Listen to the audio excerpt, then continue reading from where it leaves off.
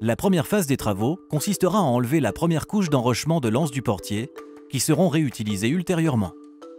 Démarreront ensuite les travaux de dragage des sédiments pollués.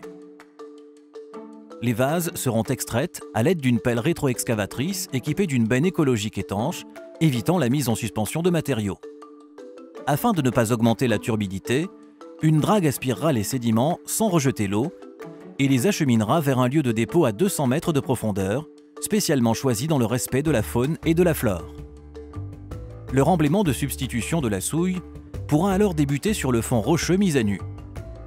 Des matériaux élaborés en carrière seront stockés et lavés sur les ports de Fosse-sur-Mer et la Seine-sur-Mer.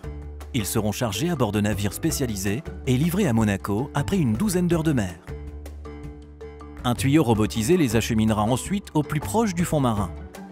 Arrivé à son niveau définitif, le remblai sera vibrocompacté par des engins flottants, puis réglé à l'aide d'un niveleur sous-marin. Parallèlement, dans le port de Marseille, auront démarré la fabrication des 18 caissons en béton armé qui constitueront la ceinture de protection du nouveau quartier.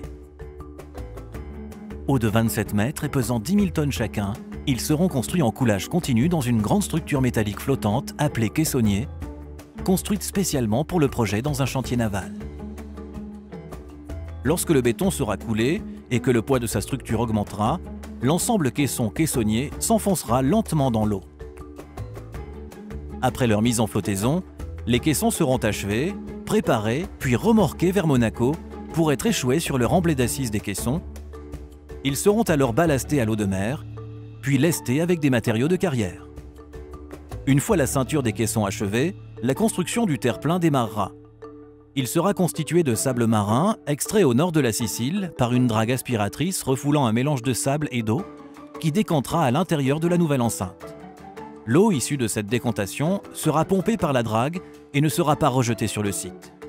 Toutes ces précautions concourront à limiter la turbidité.